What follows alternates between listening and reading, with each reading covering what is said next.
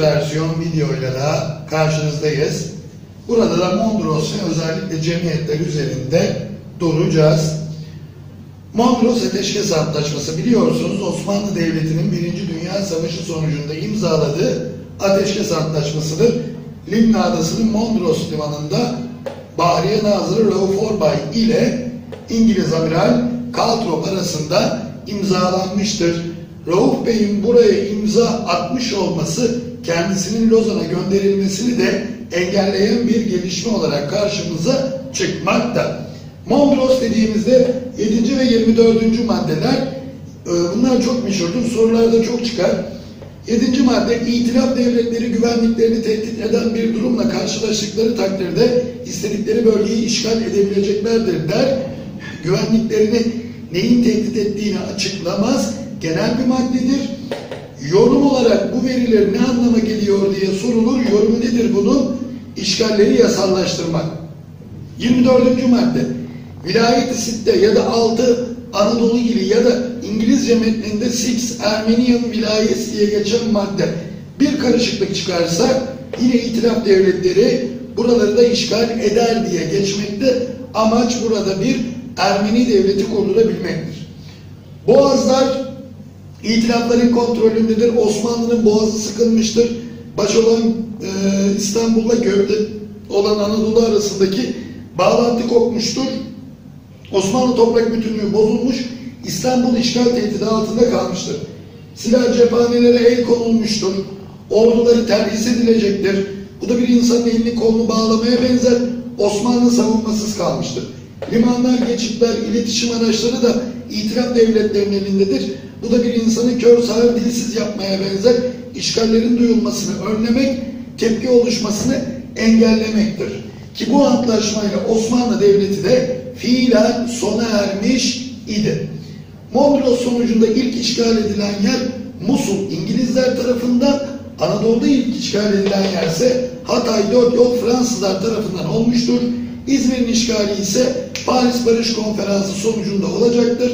Paris Barış Konferansı yenilen devletlere işte Saint Germain Versailles Trianon antlaşmalarının imzalatıldığı, İzmir'in İtalyanlardan alınıp Yunanlılara verildiği, Milletler Cemiyeti'nin kurulmasına karar verildiği, İzmir'in Yunan'a geçmesinden sonra e, dolayı İtalya ile diğer itilaflarının arasının açıldığı e, bir konferans olarak karşımıza çıkar. İzmir işgal edilir 15 Mayıs 1919. Mayn adlı Batı Anadolu'da Türklerle Yunanlar arasında oluşturulan sınırdır. Bölgedeki karışıklıklar daha da artınca bölgeye Amerikalı Amiral Bristol Başkanlığında bir heyet gönderilir ki bu heyetin hazırladığı raporda Yunanların haksızlığı vurgulanmıştır ki bu da Türk milli mücadelesinin haklılığını kanıtlayan dış kaynaklı ilk belge olmuştur. Mondros işgaller cemiyetler, işgalleri destekleyen zararlı cemiyetler, azınlık ve milli varlığa düşman diye ikiye ayrılıyor. Ee, zararlılarda azınlıklar, Yunanlar, etnik Eterya, Mavri Mira, mantık aynı, Megala İda, Büyük Yunanistan, Bizans'ı tekrar kurmak. Pontus Fatih Sultan Mehmet'in Karadeniz'de son verdiği Trabzon Rum İmparatorluğunu tekrar kurmak istiyor. Kordos, Anadolu'yu Rum göçmen taşıyor, Rum nüfusunu arttırıyor. Neden? Wilson ne diyordu? Ee, Osmanlı topraklarında azınlıklar kim nerede çoksa o yönetsin diye ona göre haklı çıkmaya çalışıyorlar. Ermeniler Hıçak ve Taşnak. Amaçları Doğu Anadolu'da bir Ermeni devleti kurmak. Bu bazı kaynaklarda Magna Ermenia diye de geçer. Yahudiler Alyans İsrailit ve Makabi Filistin'de Kudüs taraflarında bir İsrail devleti kurmasıdır amaç.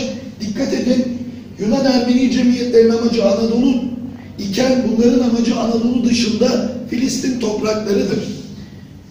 Milli varlığa düşman cemiyetler dediğimizde sulh selamet Osmaniye kurtuluşu padişahlı saltanatta görür. Teali İslam halifelikte görür. Kürt teali Güneydoğu Anadolu'da bir devlet kurma amacını taşır. İngiliz muhitleri İngiltere, Wilson prensipleri Amerikan mandasını savunur. Hürriyet ve itilaf da yine mandacı olan cemiyettir. Yararlı cemiyetler. İzmir İlhan, Trakya Paşa Trabzon Muhafaza-i Hukuk bakın hepsi Yunanlara karşıdır. Bunu unutmayın. Trakya Paşa'yı devlet kurmayı düşünen cemiyettir. Osmanlı tamamen dağıldığı takdirde. Bir de şuna dikkat edin. Trabzon muhafaza hukuk taban tabana hangi zararlı azınlık cemiyetine karşıdır? Pontus Rum'a karşı. Bunu da unutma. Doğu Anadolu Müdafaa Hukuk, Kars İslam Şurası, Kilikyalılar Ermenilere karşı tabii Kilikya dediğimizde Adana bölgesi oluyor, Fransızlara karşı da oluyor. Kars İslam Şurası da Cenubi Garbi Kafkas hükümetini kurmuştur. Kısa ömürlü olmuştur, İngilizler dağıtmıştır. Sivas Anadolu kadınları Osmanlı'daki Bacıyan Rum Anadolu bacılarına benzetilir. Ee, ki e, milli mücadeleye silah gibi, cephane gibi birçok destek vermişler, işgalleri protesto etmişlerdir. Minmin grubu Gizli Anadolu'ya silah zaman zaman da milli mücadeleci insanların kaçmasına yardımcı olur. Daha ulusal olan, bölgesel olmayan milli kongre ki ilk kez Kuvayi Milliye ifadesini kullanmıştır. Doktor Esat ışık vurmuştur. Basın yayın yolunu da en çok kullanan cemiyettir. Şimdi nelere dikkat edeceğiz? Şimdi arkadaşlar bakın Teali İslam adı İslam geçiyor ama dikkat et milli varlığa düşman cemiyet. Kürt Teali milli varlığa düşman cemiyettir. Azınlık cemiyetleri grubunda alınmaz. Buna dikkat. Bir de Kilikya ismine dikkat. İsmi yabancı alemlerine gelebilir ki Kilikya Çukurova'nın ilk çağdaki ismidir. Adana'nın ilk çağdaki ismidir ama yararlıdır. Bu isimlere çok dikkat edin. Sorular bu isimler üzerinde döner. Böylelikle yine öz versiyon olarak Mondros ve cemiyetleri verdik. Başka bir videoda görüşmek üzere.